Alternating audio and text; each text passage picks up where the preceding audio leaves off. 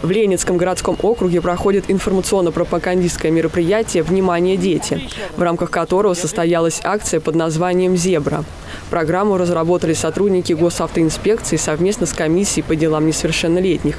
Цель проекта – это снизить случаи дорожно-транспортного травматизма с участием детей. В рамках этого мероприятия наши сотрудники дежурят на пешеходных переходах, напоминают участникам дорожного движения о правилах безопасного поведения. Целью все-таки обратить э, внимание водителей на соблюдение скоростного режима э, в городе, э, на соблюдение правил переезда пешеходных переходов. Одно из традиционных мест проведения акции – пешеходный переход на проспекте Ленинского комсомола у детской поликлиники. Привлечь внимание водителей и прохожих помогает аниматор в костюме зебры из Центра детского творчества «Импульс». Нестандартный подход нравится горожанам. У нас в центре и непосредственно вот мой коллектив ведется большая работа по безопасности дорож...